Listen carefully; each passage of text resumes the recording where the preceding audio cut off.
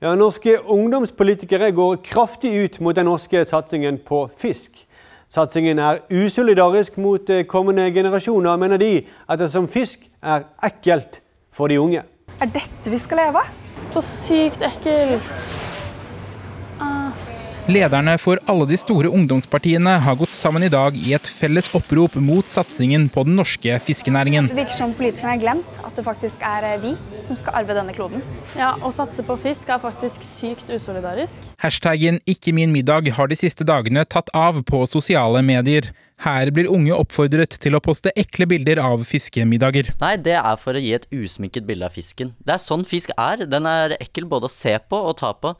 Og sannsynligvis også spise på. Æsj! Er det sånn gammel fisk? Å nei, jeg må kaste opp. Nå krever de unge politikerne at Norge legger om til en økonomi basert på kylling og pizza. For om 20 år er det ingen som vil etterspørre fisk.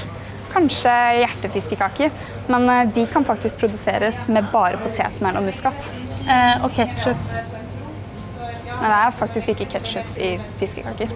Nei, ikke nå, men kanskje i fremtiden. Dere vet, eh, ny teknologi og sånn.